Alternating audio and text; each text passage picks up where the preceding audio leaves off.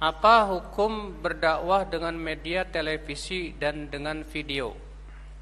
Apakah ada benar perselisihan dalam hal ini? Benar.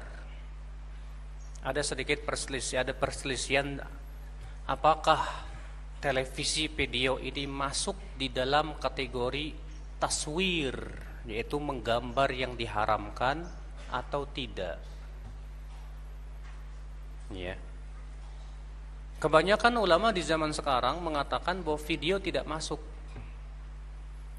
Yang perselisihan kuat itu masalah potret, Pak. Potret.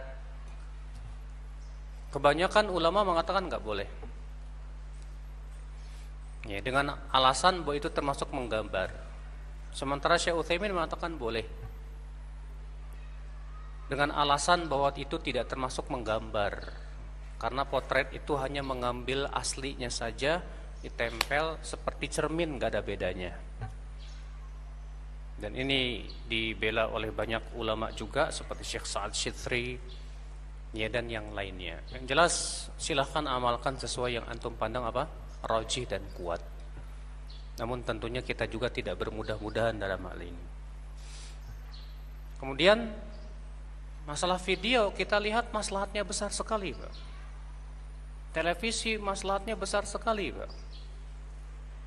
Di zaman sekarang apalagi yang namanya media itu luar biasa sekali. Ya semua orang punya HP, pasti itu. Maka kita berusaha untuk masuk dalam dunia dakwah melalui video dan yang lainnya enggak masalah.